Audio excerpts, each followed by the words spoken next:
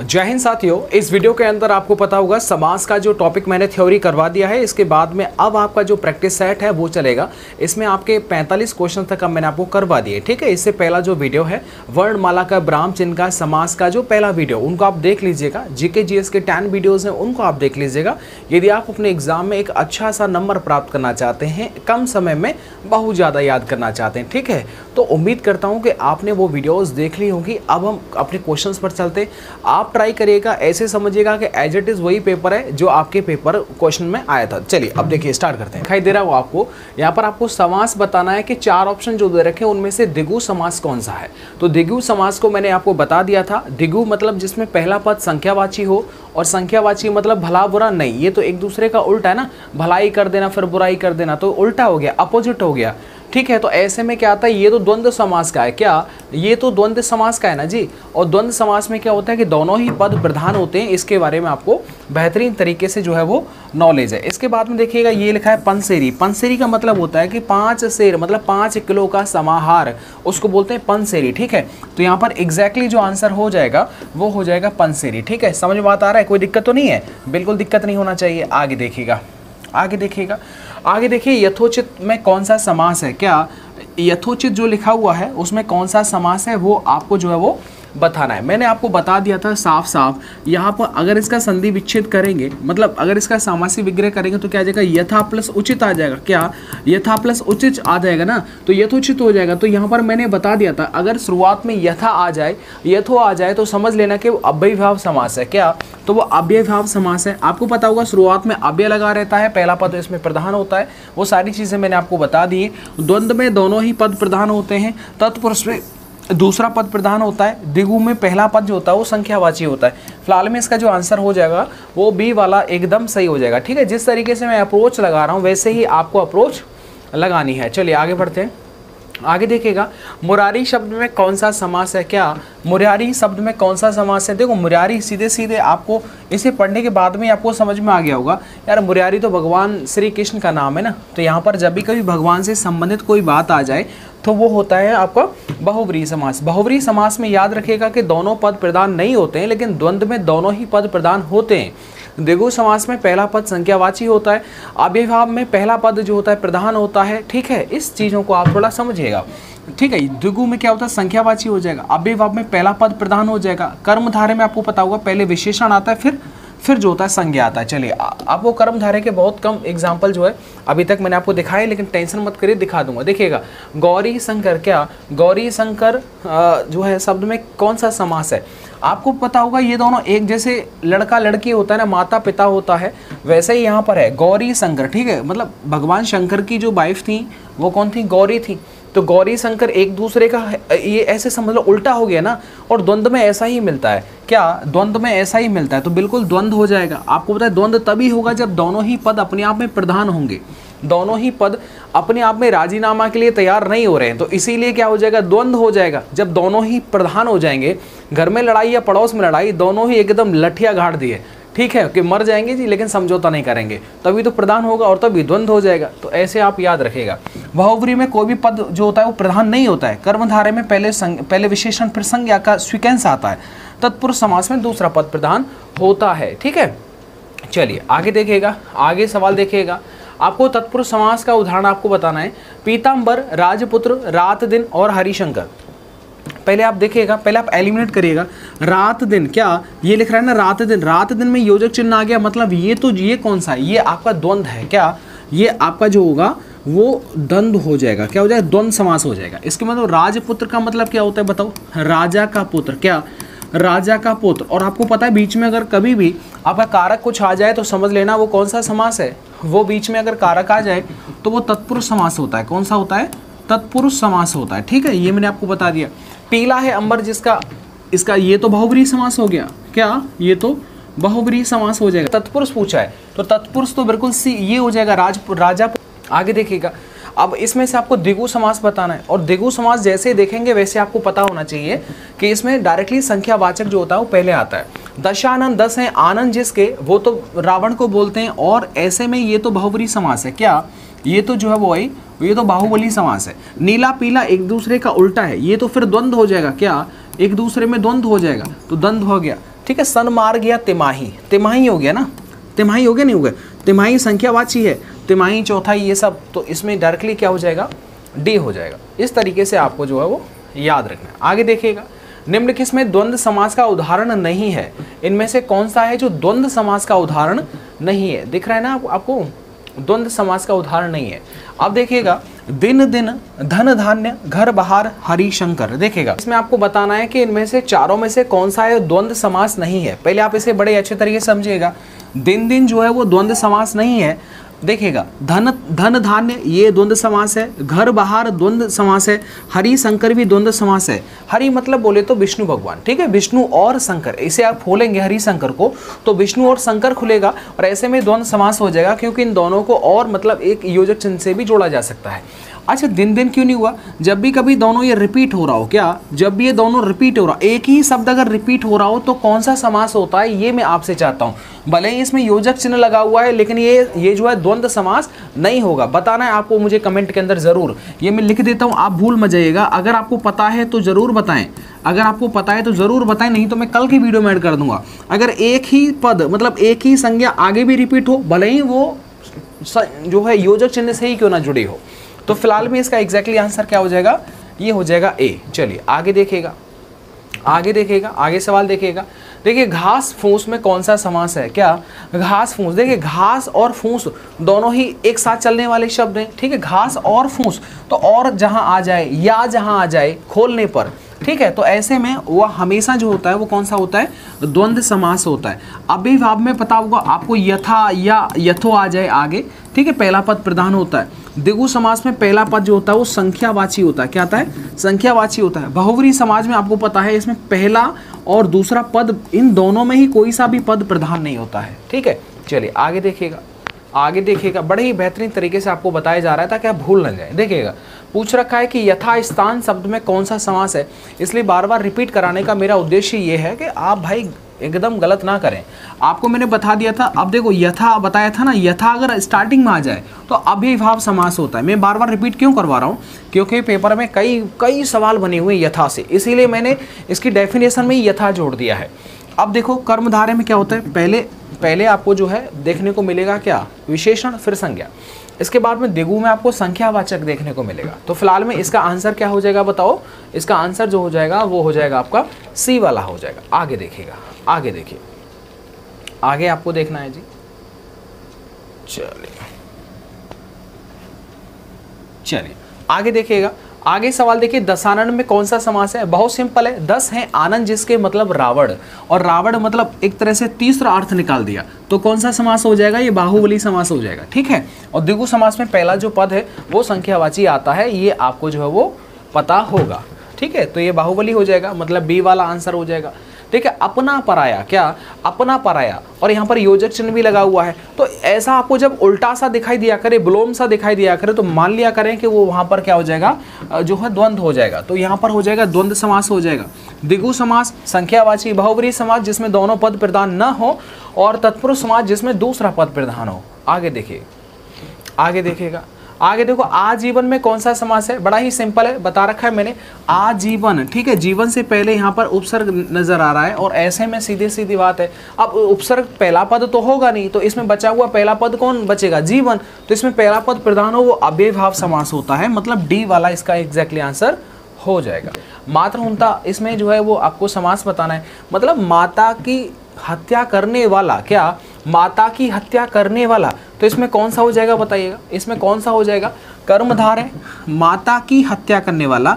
इसमें हो जाएगा तत्पुरुष समास क्योंकि इसमें संबंध बता रहा है माता की हत्या करने वाला। ठीक है तो ये आपको समझ में आ गया मात्र हंता ये हु नहीं है मात्र हंता मतलब माता की हत्या करने वाला। चलिए, आगे देखिएगा। ठीक है, अब देखेगा अब देखिए, अगला सवाल देख लीजिएगा। मन माना अब मन माना में कौन सा समास हो जाएगा बताइएगा। मन माना मतलब मन की मानने वाला। तो यहाँ पर आपको जो है कारक दिखाई दे रहा है मतलब इसमें तत्पुरुष समास हो जाएगा। आगे देखिएगा आगे देखिएगा, बड़े ही बेहतरीन सवाल और आपको देखने को मिलेंगे। अकाल पीड़ित मतलब अकाल से पीड़ित, क्या इसको अगर लिखेंगे तो क्या लिखेंगे बताइएगा कि अकाल से अकाल से पीड़ित। अब यहाँ पर क्या आ गया? कारक आ गया। जब भी कारक आ जाएगा कर्ण से ठीक है? तो कर्ण तत्पुरुष समास होगा। तो ऐसे में यहाँ पर कौन सा समास हो जाएगा? तत्पुरुष समास होगा। द्वंद्व में दोनों ही पद प्रदान और बाहुबली में दोनों पद प्रदान नहीं होते। आगे देखिए। मतलब कमन अ, कमल जैसे है जिसके नयन ठीक है? तो ऐसे में क्या होता है? है जिसके किसी से एक तरह से तुलना की जाए तो यहाँ पर कर्मधारय समास होता है। क्या होता है? कर्मधारय समास होता है। तो यहाँ पर सी वाला एग्जैक्टली आंसर हो जाएगा। आगे देखेगा ये आप बताएगा चारों को पढ़ लीजिएगा और इसका एग्जैक्टली आंसर हो जाएगा, तत्पुरुष हो जाएगा। मतलब मरने के बाद अच्छे लोक में जाना, उसको बोलते हैं सदगति और सदगति यहाँ पर तत्पुरुष समास को जो होता है, वो शो करता है। आगे देखेगा आगे देखो धनंजय। क्या धनंजय में कौन सा समास है? भाई देखो, जिसका भी नाम धनंजय, वो बिल्कुल कमेंट करके इसका आंसर ज़रूर बताएगा। क्या जिसका भी नाम धनंजय है, वो ज़रूर अपने आंसर इस क्वेश्चन का कमेंट करेगा। ठीक है, ये आपके लिए छोड़ दिया धनंजय का। ठीक है ये आपके लिए छोड़ दिया धनंजय वाला। आगे आप देखिएगा आगे देखिए नव युवक क्या क्या ये देखिए ये क्या लिखा हुआ है? नव युवक मतलब नया नव मतलब होता है नया नया है जो युवक। तो है जो यहाँ पर आ गया मतलब वहाँ पर कर्मधारय आ जाएगा। क्या आ जाएगा? कर्मधारय आ जाएगा। ये आपको बता रखा है मैंने इसमें टेंशन वाली बात नहीं आगे देखिएगा निर्विवाद क्या नि, निर्विवाद निर्विवाद में कौन सा समास होगा बताओ। निर्विवाद में कौन सा समास होगा? यहाँ पर देखो निर लिख रहा है। क्या लिख रहा है यहाँ पर? निर निर लिख रहा है। और निर मतलब यहाँ पर एक उपसर्ग का कार्य कर रहा है। तो निर प्लस विवाद, क्या? निर प्लस विवाद। और ये हो जाएगा आपका अव्ययभाव समास। ठीक है? उम्मीद करता हूँ आपको समझ में आ रहा होगा। पूरा का पूरा समझ में आ रहा होगा। कोई भी दिक्कत नहीं लेना ऐसे ही सवाल आपके पेपर में आते हैं। ठीक है? इनको आपको याद करना होता है बेसिकली अब देखिए पतझड़, क्या? पतझड़ में कौन सा समास है? ये सवाल मैंने आपके लिए रखा था। जब मैं इसे टाइप करवा रहा था उस टाइम पर मुझे पता था कि इसमें बहुत बच्चे जो है वो कमेंट करेंगे मतलब गलत करेंगे। तो मैं चाहता हूँ कि इसका आंसर जो आप कमेंट में ज़रूर बताएँ कि पतझड़ में कौन सा समास है। बहुवरी द्वंद्व कर्म तत्पुरुष या कर्ण तत्पुरुष? देखिएगा यहाँ पर तत्पुरुष के दो टाइप है ना। कर्म कर्ण सर जी ये क्या हो गया? तत्पुरुष तो एक ही होता नहीं भाई। तत्पुरुष में कारक आता है ना जैसे अब देखो कर्म तत्पुरुष अब, देखो कारक में क्या होता है? ठीक है जैसे कर्ता ने कर्म को, ठीक है तो कर्ण से, ठीक है, और एक और होता है संप्रदान संप्रदान के लिए। तो बस इनके आगे तत्पुरुष लगा दीजिएगा। जो भी बीच में, जो भी खोलने पर, समास विग्रह करने पर, जो भी कारक आ रहा है, जिस तो बस उसका नाम लिख देते हैं, वही तत्पुरुष बन जाता है। तो इसमें नई वाली बात नहीं है, ठीक है? चलिए, आगे देखिएगा आगे देखिएगा। अब देखिएगा, आपको एक डेफिनेशन टाइप के कुछ सवाल मिलते हैं जिनको आपको एग्जैक्टली आंसर देना होता है। तो आपको परिभाषा भी जो है वो पता रहना चाहिए। जैसे एक क्वेश्चन पूछा गया सवाल है, ये था कि किस समास का समस्त पद मतलब पूरा का पूरा पद क्रिया विशेषण का कार्य करता है? तो वो कौन सा समास है? अगर आपको याद नहीं है तो मतलब रह जाएगा। समास में से जो चीज़ें ज़रूरी हैं वो मैंने आपको बता दी हैं। तो बेसिकली डेफिनेशन भी आपको पता रहना चाहिए कि क्रिया विशेषण का काम कौन सा पद करता है? पता है अव्ययभाव जो समास होता है क्या अव्यय भाव जो समास होता है ना भाई, वो पूरा का पूरा बना हुआ जितना भी उसका पद होता है, वो पूरा पूरा क्रिया विशेषण का कार्य करता है। किसका काम करता है? क्रिया विशेषण का काम करता है। अब देखिएगा, आपने जो है ना, समास विग्रह सीख लिया, पूरे समास याद कर लिए डेफिनेशन याद नहीं किया तो गड़बड़ हो जाएगा। क्या हो जाएगा? गड़बड़ हो जाएगा। आपको इस तरह की कोई भी गलती नहीं करनी है जहाँ पर आपका नंबर कट जाए। क्या? नंबर कट जाए। आगे देखिएगा, आगे पूछा है, जिस समास में पूर्व पद गौण और उत्तर पद प्रधान होता है, ये कहना क्या चाहता है? जिसमें पहला पद नहीं छोड़ो, जिसमें दूसरा पद जो होता है वो प्रधान होता है। अब दूसरा पद प्रधान होने का मतलब कौन सा हो गया? तत्पुरुष समास हो गया। कौन सा हो गया? तत्पुरुष समास हो गया। ये मैंने आपको बताया था, नहीं बताया था?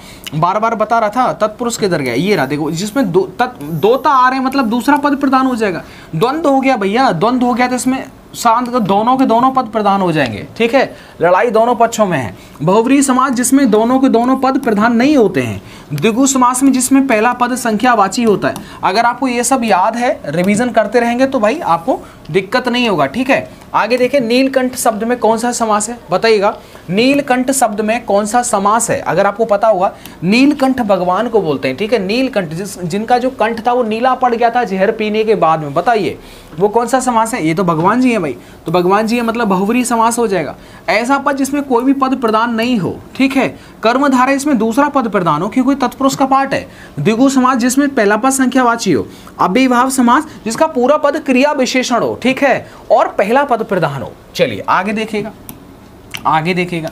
आगे देखिएगा, सवाल बहुत अच्छे हैं। तिरंगा। तिरंगा शब्द में कौन सा समास है? देखिएगा भाई। तिरंगा शब्द में कौन सा समास है, ये आपको मुझे बताना है। तिरंगा शब्द के बारे में आपको देखो, तिरंगा आपको तीन रंगों से मिलकर के जो बनता है, वो झंडा तिरंगा हमारे देश का होता है, ठीक है? तो अब एक तो ऑप्शन इसमें बाहुरी समास बन जाएगा। और एक बन जाएगा क्योंकि इसमें द्विगु समास भी है, क्योंकि तिरंगा भी है, ठीक है? कि उसमें तिरंगा मतलब इसमें संख्यावाची आ गया। तिरंगा मतलब तीन आ गया ना? संख्यावाची आ गया। अब कौन सा लगाएँ? तो अब देखिएगा, अगर ये भारत के झंडे की विशेष तौर पर अगर बात कर रहा है तो इसका मतलब है कि इसमें बहुबरी लगाना होगा।